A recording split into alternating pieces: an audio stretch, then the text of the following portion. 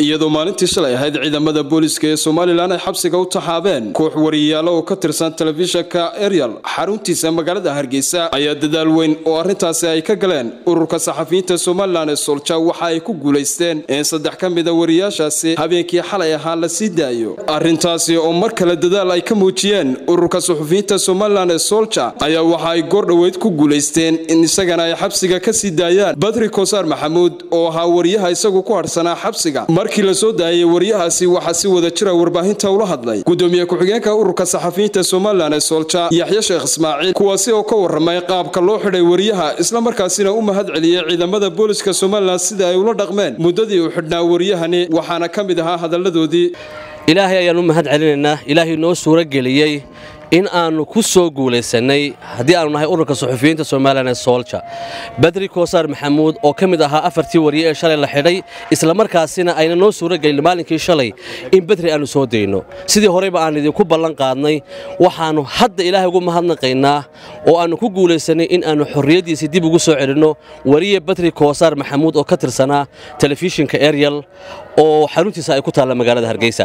Waxaannu sidoo kale u mahad celinaynaa taliyaha cabdilaahi fadal iimaan oo isaguna kaalin mug leh nagala qayb qaatay oo si weyn noogula guntaday in aannu xorriyaddiisa u soo celinno wariye badri koosaar waxaan leenahay suxufi kastouba waajib waxaa kaa saaran naftaada goob kastoo aad joogta inaad adugu ilaaliso inaad naftaada sharciga ku ilaaliso inaad qarankaaga ku ilaaliso iyo in aad institutionska aad ka shaqaynaysaan ku ilaaliso. Soolja ahaan waxaannu ilaahay mar labaad ugu mahad celinaynaa ilaahay nagu guuleeyey in aannu maanta badri koosaar xorriyaddiisii dib ugu soo celinnay ciidankii sida wanaagsan ula dhaqmayna waxaan leenahay waad ku mahadsantihiin waxaannu sidoo kale ka codsanaynaa taliya fadal iyo ciidankiisaba in ay nagula shaqeeyaan wadiiqada sharciga ah sida ay hadda isu kaaya barbartaageenna ay mar walba isu kaaya barbartaagaan geesooda iyaguna waxaa halkaasi ka hadlay xayaad naaleeye oo ka tirsan xubnaha ururka suxufiyiinta somalilan ee soolja iyo weliba gudoomiyaha telefishanka eryar ee ay ka tirsanaayeen wariyaasha la xidhay kuwaasi oo dhammaantood u mahad celiyey cid kasta oo ka qayb qaadatay sii daynta wariyaha.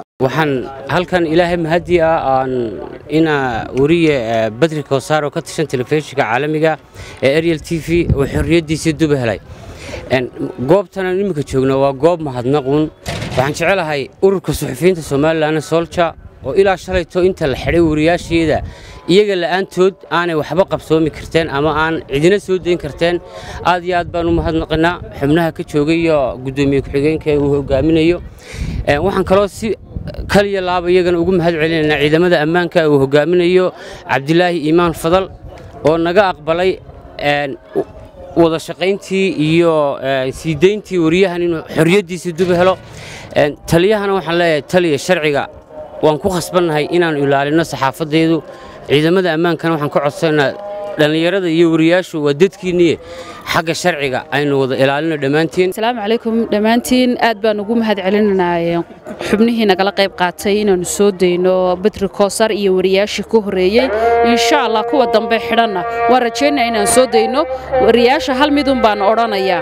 Waxaan leeyahay xadhiggu ma aha sumcad ee sumcaddiinu waxay ku jirtaa inaanad lagu xidhin. Ugu dambayntii isaguna waxaa halkaasi ka hadlay oo dareenkiisa cabiray badri kowsaar maxamuud oo ahaa wariyaha isagu xidhnaa islamarkaasina hadda la soo daayey waxaan u mahad celiyey cid kasta oo ka qayb qaadatay sii daynta xadhiggiisa waxaana ka mid ahaa hadalladii badri. Dhammaantiin aad iyo aad ayaa u mahadsan tihiin xariggaygu horta waa aan kaftame waa markii ugu horraysay ee intaa noolaaba la xidho cashar iyo waayo ayuu dabcan lahaa ma jecli hadda inaan ka hadlo laakiin waxaan u mahadnaqayaa ururka suxufiyiinta somalilan ee soolja oo guddoomiye ku-xigeenkii yaxya hadda nagala joogo iyo agaasimihii faysal iyo guddoomiyahayagii iyo xayaad bay nagala joogaan aad iyo aad ayaan uga mahadnaqayaa dadaalka weyn ay galeen. Sidoo kale halkan waxaan uga mahadnaqayaa wasiirkii hore ee wasaaradda maaliyadda sabsam cabdi aadan oo ayada lafteeduna ka mid ahayd dadkii sida weyn uga qayb qaatay sii dayntayda runtii dad badan oo markaan xidhnaanay la kaftamay. Haddana ay la kaftamay oo yidhi waar taliyaha in badan baa wada shaqaysan cabdilaahi fadal. Waar cabdilaahi fadal waxaanu haddana isku haynaa ma jirtaa taliyahayga weeye isna waan u mahadnaqayaa sidoo kale wasiirkii hore wasaaradda madaxtooyada maxamuud xaashi oo isagana waan u mahadnaqayaa iyo dhammaan bulshaday taageerta iyo kuwa kaleba ee si weyn uga hadlayey xariggayga. Maxamed cumar daariq star t v hargeysa